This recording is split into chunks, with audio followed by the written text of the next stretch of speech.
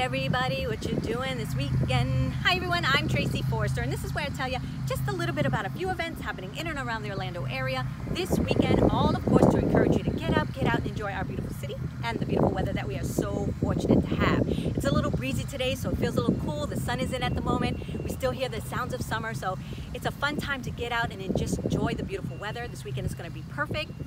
I don't know if you know, but this Friday is Friday the 13th. So if you like scary things, I can't think of a better way than to head on out to Universal's Halloween Horror Night. I'm sure it's gonna be packed, it's gonna be a full moon, so get there early and be safe out there, but that sounds like a great uh, time to go to that event on Friday the 13th. Now, if you're looking for a more tamed event, maybe you want to go uh, head on out to Lake Eola because they're having Movieola.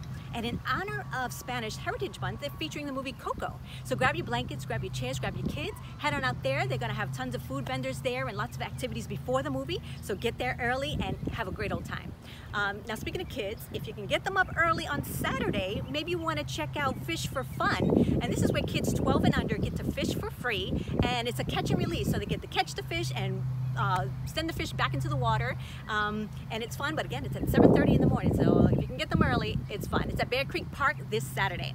Uh, speaking of kids Joann's pop in. It's their drop-in kids crafty so your kids can go in make a craft take it home with them and it's they have something to do. So definitely want to check that out.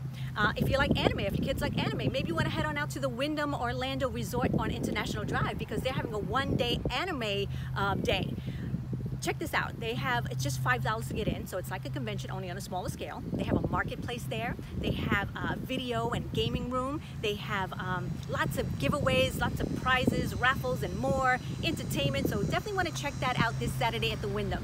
Um, also on Saturday, maybe you want to head on out to Clermont for the second annual Clermont Sip and Salsa Festival. And that's in historic downtown Clermont. Last year they had a blast. This year is going to be even better. And it's celebrating all things salsa. So they're gonna have such exquisite, delicious cuisine there featuring salsa. They're gonna have salsa music, salsa dancing. So that's just a fun way to, word to say. I remember the Seinfeld episode that, that uh, capitalized on that one. Um, but anyway, head on out there this Saturday. Now on Sunday, maybe you want to head on out to uh, City Hall in Orlando before their Viva Orlando uh, Festival. It's um, all celebrating cultural diversity and they're gonna have Latin music, Latin performances, Latin food, of course. So go ahead and taste the deliciousness down there this Sunday. Well, that's what I'm going to tell you about this weekend. If you want to know more information about anything I've spoken about today, please see the description above or below. I'm Tracey Forrester, your local realtor with Keller Williams Classic Realty. If you didn't know what you were doing this weekend, well, now you know. Until next week, bye.